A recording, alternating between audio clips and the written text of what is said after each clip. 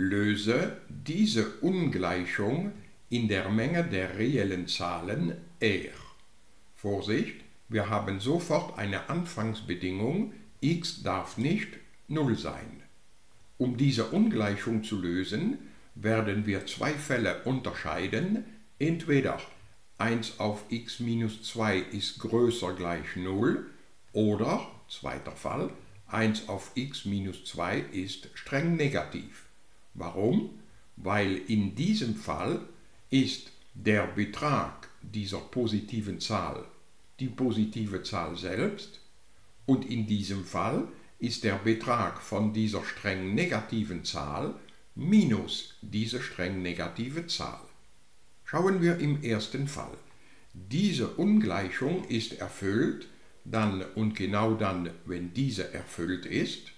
Und um die zu lösen, schreiben wir eine kleine Zeichentabelle mit den zwei besonderen Werten 0 und ein halbes.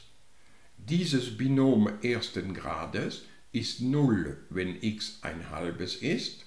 Rechts von dieser 0 schreiben wir das Vorzeichen der Vorzahl von x, also Minus, und links das entgegengesetzte Zeichen, also Plus. Hier ist die Zeichenzeile für x und hier die Zeichenzeile für diesen Bruch. Wir bemerken, 0 ist ausgeschlossen. Die Ungleichung ist erfüllt in diesem Bereich, das heißt, sie ist erfüllt, wenn x sich hier befindet, im Intervall von 0 ausgeschlossen bis ein halbes eingeschlossen. Das halten wir hier fest. In diesem ersten Fall ist die Ungleichung, die wir lösen sollen, diese oder auch diese. Die kann man auch in diese Form schreiben und um diese Ungleichung zu lösen, werden wir wieder eine Zeichentabelle erstellen, die genauso aussieht wie diese, außer statt 2 haben wir hier 5. Also geht das sehr rasch. So, wir haben hier die Zeichenzeile für diesen Bruch und dieser Bruch muss kleiner gleich 0 sein. Kleiner gleich 0, das ist in diesen zwei grünen Bereichen. Also, damit die Ungleichung erfüllt ist, muss x sich entweder von minus unendlich bis 0 ausgeschlossen oder von ein Fünftel eingeschlossen bis plus unendlich befinden. Die erste Teillösung ist also der Schnitt von dieser grünen Menge und diesem Intervall, was also bedeutet, die erste Teilmenge der Lösung, das ist das geschlossene Intervall von ein Fünftel bis ein halbes. Jetzt kommen wir zum zweiten Fall. Diese Ungleichung ist erfüllt, dann und genau dann, wenn diese erfüllt ist, und natürlich finden wir als Lösungsmenge die Komplementmenge von diesem Intervall in der Menge R, aber Vorsicht, aus dieser Komplementmenge ist die Null auszuschließen. In diesem Fall wird die Ungleichung, die wir zu lösen haben, diese oder auch diese, die man noch so schreiben kann oder auch so.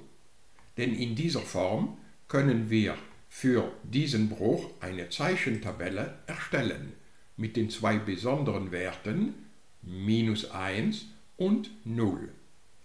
Dieses Binom ersten Grades wird 0 bei minus 1.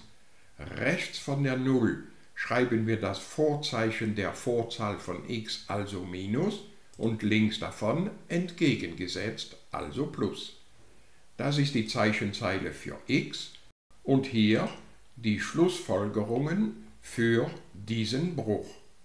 Dieser Bruch muss kleiner gleich 0 sein, das bedeutet da oder da.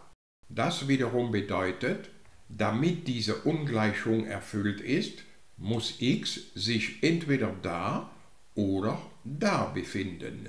Das heißt, von minus unendlich bis minus 1 eingeschlossen oder von 0 ausgeschlossen bis plus unendlich. Der zweite Lösungsteil ist also die Schnittmenge von dieser grünen Menge und dieser Menge. Das heißt, Sol 2, das ist das Intervall von minus unendlich bis minus 1 eingeschlossen, vereinigt mit dem Intervall von ein halbes ausgeschlossen bis plus unendlich. Die Lösungsmenge der Ungleichung ist also die Vereinigung von diesen zwei Mengen.